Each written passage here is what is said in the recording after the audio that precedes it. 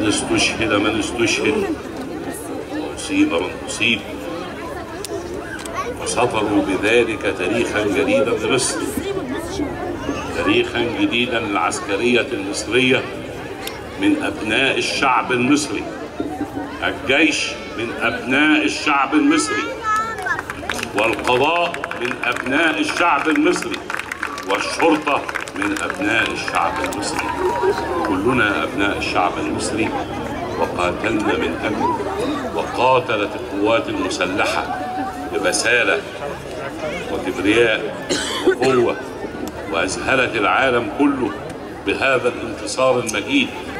لكن الحقيقة يوم السبت 6 أكتوبر كانت الساعة 2 ل 5 وابتدينا نسمع البيانات اللي موجوده وابتدينا نعرف في الأيام اللي بعد يوم 6 إزاي الناس فكرت في يوم 6 أكتوبر. وابتدينا نسمع وإحنا في الوقت ده كنا شباب ونحب جدا حتة المفاجأة وازاي ضحكنا عليهم.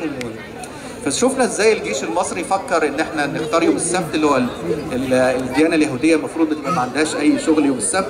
إزاي نفكر إن هو ده يوم عيد كيبور عندهم وده واحد من الأعياد الدينية اللي موجودة وبالتالي هم مش هيشتغلوا في ذلك الوقت. إزاي كان يوم 10 رمضان ويوم 10 القمر ليه نوع معين ففي مد معين في قناة السويس فهنقدر القوارب اللي نعدي بيها قناة السويس إزاي اختيار يوم 10 رمضان يبقى في مد بشكل معين. إزاي هنختار الساعة 2 الظهر عشان الشمس تبقى في ظهر الجنود المصريين وهم بيعدوا تبقى في وش الجيش الإسرائيلي وهم بيواجهوا الجيش. إزاي هنضرب الساعة 2 ل 5 الطيران يضرب كل المناطق اللي فيها ال- القيادة الاستراتيجية. الحقيقة في العشر أيام دول من يوم 6 أكتوبر وإحنا قاعدين نسمع كيف عد الجيش المصري المشير أحمد إسماعيل علي وكان في ذلك الوقت ال- الفريق الجمسي كان هو رئيس الأركان وكان كاتب الحكاية دي بخط إيده كان قالوا لنا إن هو اتكتبت بخط إيده عشان السرية وكانت بتعرض على بسرية شديدة. إزاي الجيش المصري كان عامل تنسيق مع الجيش السوري في وقت الهجوم؟ الحقيقة في العشر أيام دول كان كان شعور جميل جدا إن إحنا في شباب في ذلك الوقت إزاي ضحكنا عليهم وازاي قدرنا نعدي بجيش على مسافة 180 كيلو متر بنعدي بجيشين كاملين الجيش الثاني والجيش الثالث 6 أكتوبر يوم في تاريخ مصر مفحور في قلوب كل المصريين. يوم لا ينسى.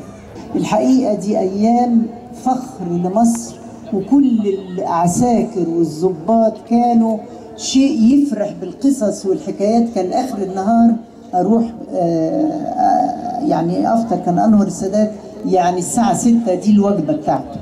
فأروح وأحكي له بقى عن كل العساكر والضباط وحكايات البطولة اللي كانوا بيحكوها لي. وكان بيبقى سعيد وفخور جدا جدا جدا بيهم.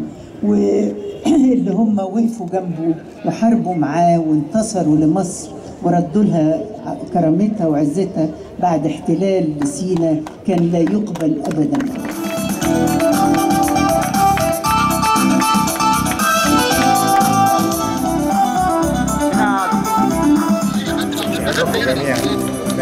لواء أركان حرب سامح توفيق. اللواء محمد رشاد إبراهيم.